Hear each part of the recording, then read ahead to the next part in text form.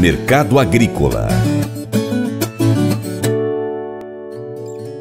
Bem-vindo ao Paracatu Rural. Em 31 de outubro celebra-se o Dia Internacional do Arroz, terceiro alimento mais consumido no mundo e um dos dois principais itens da dieta do brasileiro, o outro é o feijão. O arroz é fonte de energia e saúde. Em comemoração à data, a Abi Arroz destaca os benefícios para a saúde humana. O arroz é rico em carboidrato complexo e não contém glúten. É hipoalergênico tem alta digestibilidade, produz sensação de saciedade e favorece melhor trânsito intestinal. Também é indicado para atletas e praticantes de exercícios físicos. Os tipos de arroz são o integral, parbolizado branco, polido branco, o vermelho e também o arroz negro.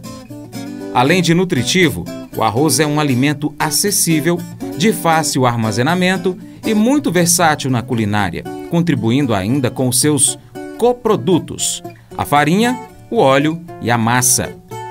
De modo geral, são indicadas de 3 a 4 colheres de sopa de arroz nas refeições, independentemente da sua variedade. Composto por todos os nutrientes, o arroz é considerado um dos alimentos com melhor adequação nutricional, fornecendo em média 20% da energia e 15% da proteína per capita necessária ao ser humano. Por isso, tem papel estratégico na solução de questões de segurança alimentar mundial. Então, é só você escolher uma das diversas receitas de arroz e saborear. Agora vamos ao mercado do arroz. Segundo o consultor Vlamir Brandalize, as cotações do arroz estão nos menores níveis do ano, em média 15 reais de prejuízo por saca. Com relação ao mercado do arroz, também estamos ainda andando uma semana fraca. O arroz está no menor nível do ano, aí, principalmente no mercado gaúcho, trabalhando de 66 a 75 reais, sendo que fronteira oeste 67 reais, 68 aí para um produto mais nobre, na casa dos 60 de grão inteiro. Fraco o mercado gaúcho aí, 73, 74 no máximo aí na faixa litorânea, perto do Porto Rio Grande. E o mercado mostrando pouco fôlego ainda, porque produtores ainda têm dívidas que devem continuar vencendo aí no começo de novembro e necessitam de insumos aí para serem quitados também que precisam de dinheiro. Então, mercado arroz aí para causando prejuízos aos produtores, porque é meio unânime a indicação que o custo de, da produção está acima de 85 reais e o pessoal vendendo aí com prejuízo acima de 15 reais por saca nesse momento. E é o mesmo uh, que a gente vê da indústria que reclama que não consegue repassar ajuste no fardo, o fardo subiu muito, o frete subiu, custa energia energia, embalagem, o sistema todo subiu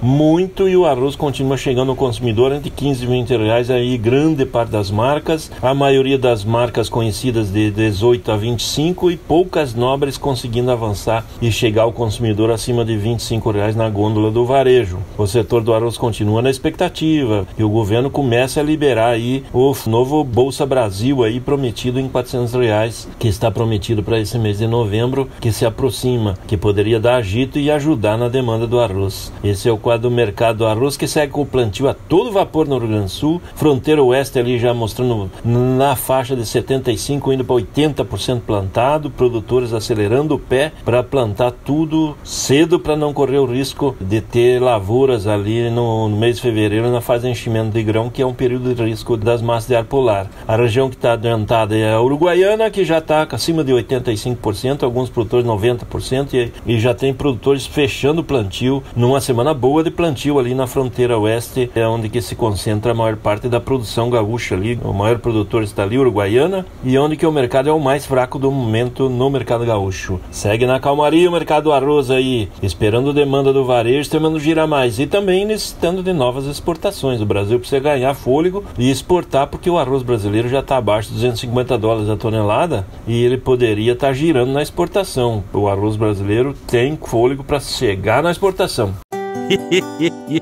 Mas eu vou dizer uma coisa pra você, viu? É, se quiser colocar propaganda sua aqui nesse programa, ó, eu vou dizer um negócio, você vai ter um resultado bom demais, senhor. É isso mesmo, é facinho, facinho, senhor. Você pode entrar em contato com os meninos ligando no telefone deles, é o 38, é o 99181 0123, bem fácil. É muito bom porque aí a sua empresa vai sair dentro de um programa que é ligado aí ao homem para mulher do campo. É nós que vai estar tá assistindo e também vai ver sua propaganda. É bom ou não é, só?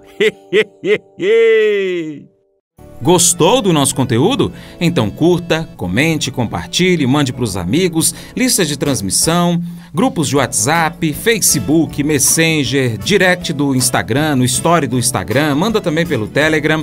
E o seu Paracatu Rural vai ficando por aqui com abraços para você, ouvinte, internauta, telespectador. Nós estamos no YouTube, Facebook, Instagram, vários aplicativos de podcast como Spotify, Deezer, TuneIn, iTunes, Castbox e outros. Também estamos no Telegram. Basta você pesquisar aí, ó, no seu aplicativo favorito por Paracatu Rural. Deixamos também abraços para você que nos acompanha pelo nosso site paracaturural.com. Estamos também na Rádio Boa Vista FM em Paracatu, Minas Gerais, frequência 96,5 MHz. Sábado, de segunda a sábado às 7h45 da manhã e aos domingos às 6 horas da manhã.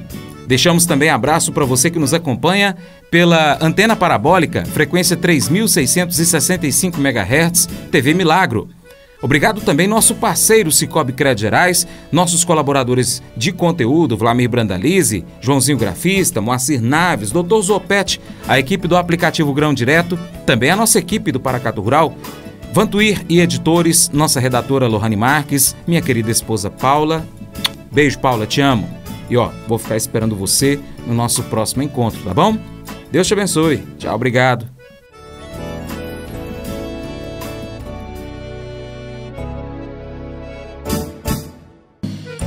Acordo de manhã para prosear no mundo do campo, as notícias escutar. Vem com a gente em toda a região com o seu programa Paracatu Rural.